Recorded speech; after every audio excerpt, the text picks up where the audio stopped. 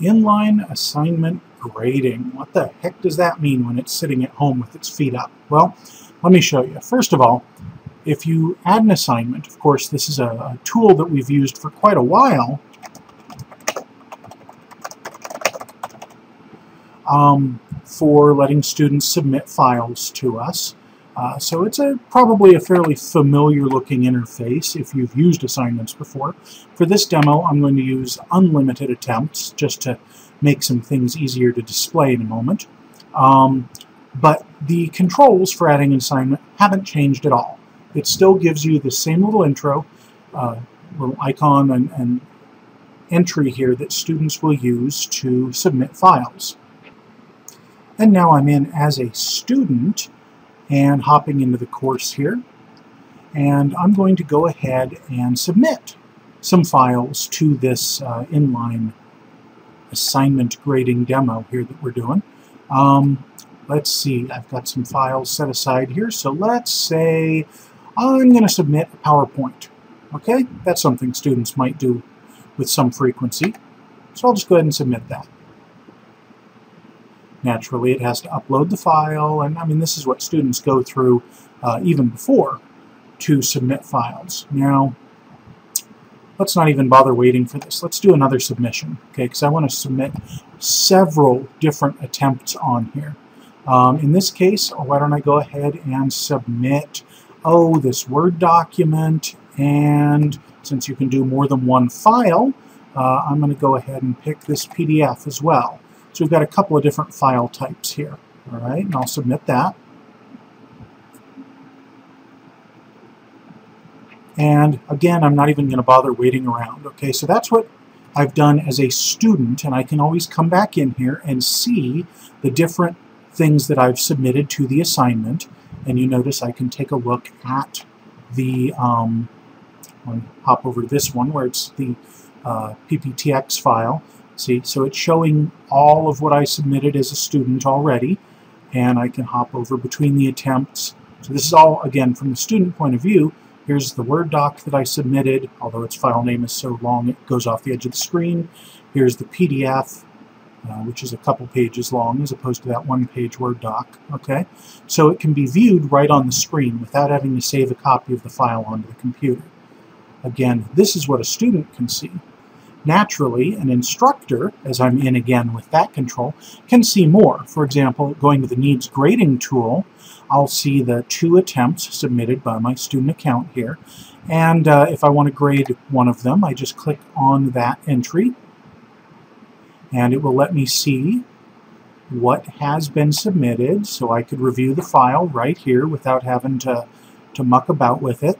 And now, just for the sake of argument, uh, perhaps I have something that I want to communicate to the student about this particular slide. Well, I could come over here into the feedback window and start off by typing something like, oh, in slide 17, I really didn't like the fourth bubble that said course enrollment. The color seemed wrong to me. Um, or, rather than be so kind of crazy like that, I could go ahead and use some of the comment tools built in and say, okay, I'm going to make an area comment, and I'm going to make the area right here. And then what I want to say is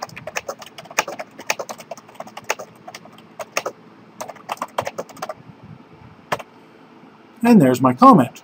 Okay, now that was pretty darn easy. Far easier than defining a bunch of things over here in the feedback window.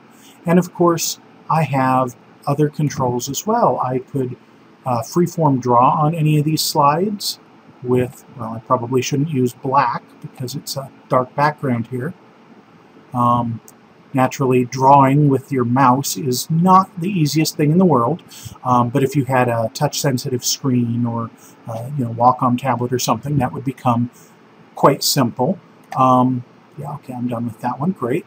I could also go in and do some text selection here, or freeform type things. Again, the color that it goes in as probably is going to be you know, a potential problem there. Um, and font size as well, so perhaps tiny isn't the best size to be appending things with. Um, or if I wanted to actually like strike through some of the text on the slide, there's a tool for that. Okay, so pretty good markup tools right here, yeah? And this is all available on a PPTX file, but if you remember, I put more than one thing on that second attempt, so let's take a look at what a Word document will let us do in the way of markup. Um, honestly, pretty much the exact same things.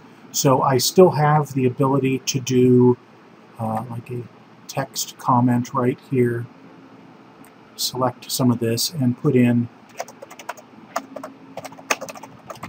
my insightful comment. And you notice that's working uh, pretty much like the Word uh, annotation tool, huh? Um, where it's giving the highlighted selection with an associated comment box off on the margin. Um, highlighting, of course, you get, you can draw attention to text that way uh, pretty easily. Um, and then you can even edit these things after the fact. If you didn't like the color, you can change it to something else. Okay, um, And then also with a PDF, uh, which of course may take a little bit longer to render. They all, every file of course really does end up being downloaded by the system and it gives you some controls of uh, what to do with it. But you'll notice this PDF actually has images as well as text in it and we still have all of these same controls for how we want to mark things up. So you can use this to uh, well, do all sorts of submissions here. And then naturally, you have the ability to punch in grades as well. So I'm going to say that they did a pretty good job. Out of 15 points, I'll give them 14 here. Okay, and I'll go ahead and submit that. Now that was for that attempt. I still actually didn't um, do a, uh, a grade specifically for this attempt, so you can have uh, grades separate for each attempt. Now remember how I put that box on there with the comment? That's still on there. It, it keeps all of the little markups that you do, um, even when you're jumping between attempts. So I'm going to give that one a no, some other score perhaps, and I'll submit that as well. So now I've graded these student entries.